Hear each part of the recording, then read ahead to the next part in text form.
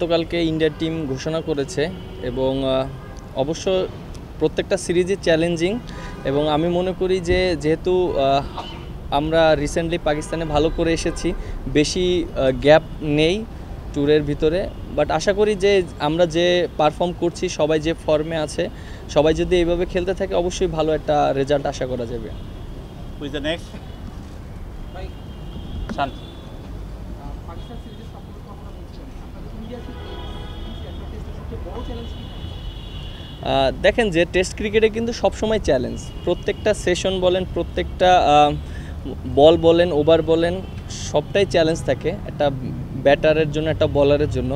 But ইন্ডিয়ার ক্ষেত্রে যেটা, অবশ্যই ইন্ডিয়া অনেক বড় টিম ওদের বোলাররা অনেক ভালো এবং ব্যাটসম্যানরাও অনেক ভালো ব্যাটসম্যান এবং ওদের যে উইকেটটা থাকে।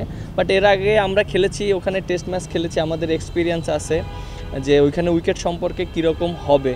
আমার কাছে মনে হয় যে উইকেট অনেক ভালো থাকবে এবং আশা করি যদি আমরা যে কমিটমেন্টে আছি যেভাবে খেলছি এভাবে যদি থাকি রেজাল্ট না চিন্তা করে যদি পারফর্ম করার চেষ্টা করি end of the day result কিন্তু তখন আসে। আপনি যখন ক্রিকেটটা শুরু করেছিলেন দলে যখন ছিলেন সবাই ধরে নিয়েছিল যে আপনি আসলে সাকিবের উত্তরসূরি হবেন।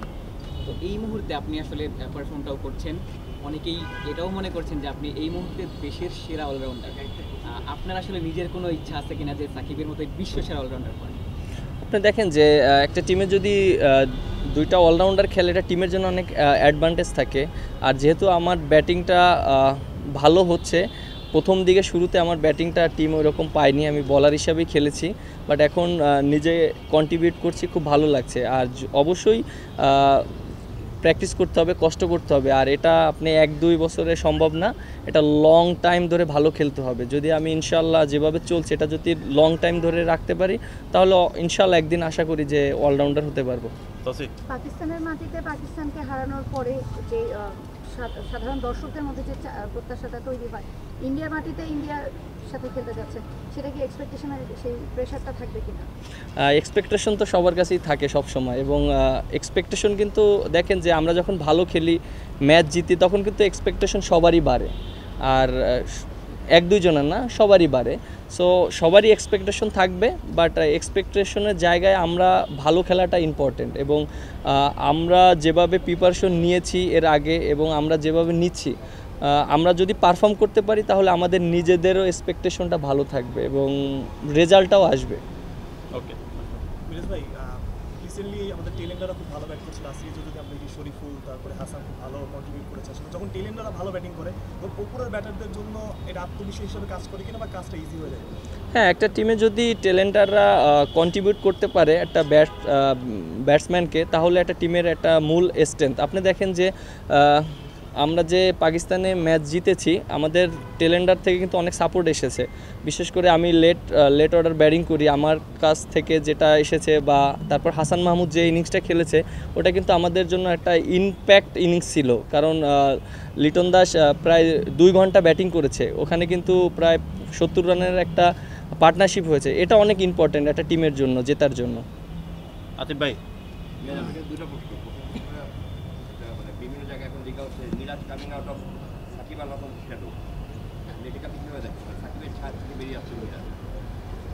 না, একটা টিমের এর আগেও আমি বলেছি, একটা টিমে যদি অলরাউন্ডার থাকে, একটা টিমের জন্য অনেক অ্যাডভান্টেজ আর যেহেতু সাকিব ভাই, আমি দুজনই খেলছি টিমের দুজনই ইম্পর্টেন্ট রোল প্লে করছে। সাকিব ভাই বোলিং করছে এবং ব্যাটিং করছে। আমিও ব্যাটিং করছি বোলিং করছি।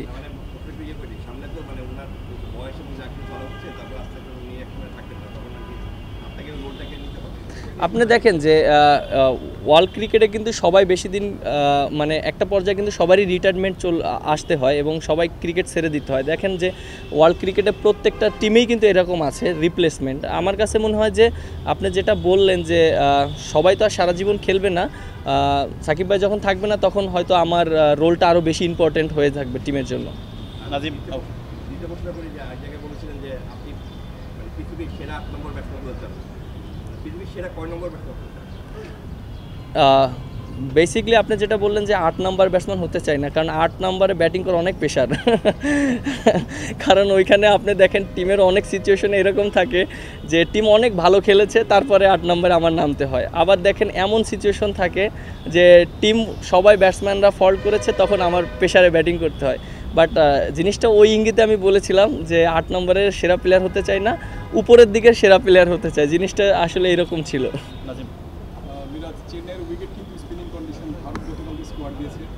চারজন পরীক্ষিত স্পিনার আছে। তো তাদের আটকানোর জন্য কিংবা তাদের সামলানোর জন্য ব্যাটারদের জন্য কি পরীক্ষাটা অপেক্ষা করছে আর কেমন চ্যালেঞ্জ আছে? হ্যাঁ আপনি যেটা বললেন চ্যালেঞ্জিং অবশ্যই থাকবে। ইন্ডিয়ান মাটিতে আমরা এর আগেও টেস্ট খেলেছি। আমাদের বিগত পারফরমেন্স ওই রকম ভালো ছিল না। বাট আমরা এবার একটা কনফিডেন্ট নিয়ে যাচ্ছি। আশা করি যে ওদের যে কন্ডিশনটা আছে আমরা এনজয় করার চেষ্টা করব। আমরা ফাইট দেওয়ার চেষ্টা করব। যখন আমরা ফাইট দিতে পারব ওদের সাথে তখনই কিন্তু আমাদের ফরে রেজাল্ট আসার চান্স থাকবে। সো আমাদের প্ল্যানিংটাই এইটাই যে আমরা যেন ওদের সাথে ফাইট দিতে পারি। মুস্তাক আহমেদের সঙ্গে কথা হচ্ছিল উনি বলছিলেন যে আপনি এবং লিটন ভাই। দুজনই মেন্টালি খুব ফ্রি ছিলেন এবং মেন্টালি খুব ভালো অবস্থায় ছিলেন পাকিস্তানে খেলার সময়। এবং পুরো টিমই নাকি মেন্টালি খুব ভালো অবস্থানে ছিল। তো আপনাদের এখন পাকিস্তান ইয়ে, ইন্ডিয়া যাচ্ছেন এই মুহূর্তে আপনাদের মেন্টালি অবস্থাটা কীরকম এবং এই পাকিস্তানের এই জয়টা আপনাদের মেন্টালি আরও কি উপরে দিয়েছে? হ্যাঁ অবশ্যই। আমাদের এখন টিমের ভিতরে মেন্টালি সবারই অনেক হ্যাপি আছে এবং সবাই খুব ভালো একটা শেপে আছে। বিশেষ করে ব্যাটাররা বলাররা তারা খুব ভালোভাবে খেলছে। আর যেটা বললেন যে মুস্তাক আহমেদ তিনি আমাদের টিমের সাথে ছিলেন। এবং আমি ফার্স্ট টাইম তার সাথে কাজ করেছি আমার কাছে খুব ভালো লেগেছে মানুষ হিসাবে এবং তিনি অনেক কন্টি অনেক মোটিভেশন কথা বলেন এবং প্লেয়ারদের সবসময় সাপোর্ট করার চেষ্টা করেন। একটা প্লেয়ারকে আপনি দেখেন যে খারাপ সময়ে সবসময় পাশে থাকার চেষ্টা করেন। সো এই জিনিসগুলো খুব ভালো লেগেছে। মডার্ন ডে ক্রিকেটের জন্য কি মেন্টালি ফ্রি থাকাটা খুব জরুরি? হ্যাঁ আপনি বুঝতে এই এই সিচুয়েশনে আপনার মেন্টালি ফ্রি না থাকলে কখনোই আপনি ভালো খেলতে পারবেন না। কারণ আপনি একটা দেখেন যে ক্রিকেট খেলাটা এমন একটা খেলা যে আপনার এখানে ফ্রি থাকাটা খুব ইম্পর্টেন্ট সব চাপ নিয়ে আপনি একা খেলতে পারবেন না কখনো। সো এটা এর জন্য হেল্প দরকার সবার টিমের প্লেয়ার থেকে শুরু করে এবং কোচিং স্টাফ থেকে সবার। সবার হেল্পটা অনেক ইম্পর্টেন্ট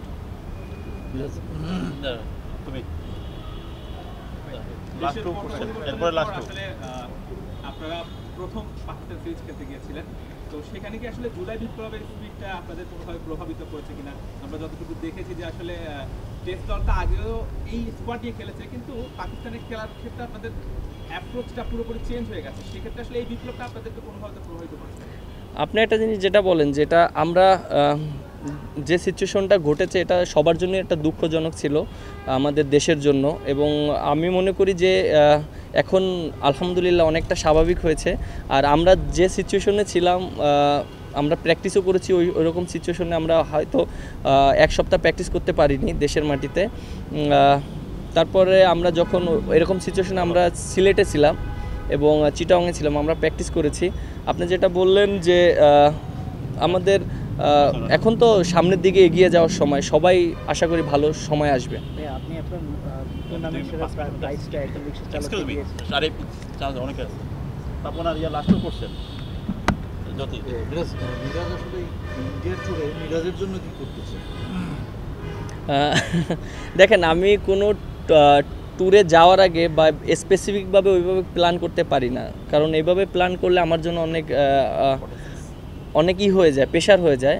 বাট পাকিস্তান সিরিজের আগেও আমি চিন্তা করিনি যে আমি ম্যান অফ দ্য সিরিজ হব।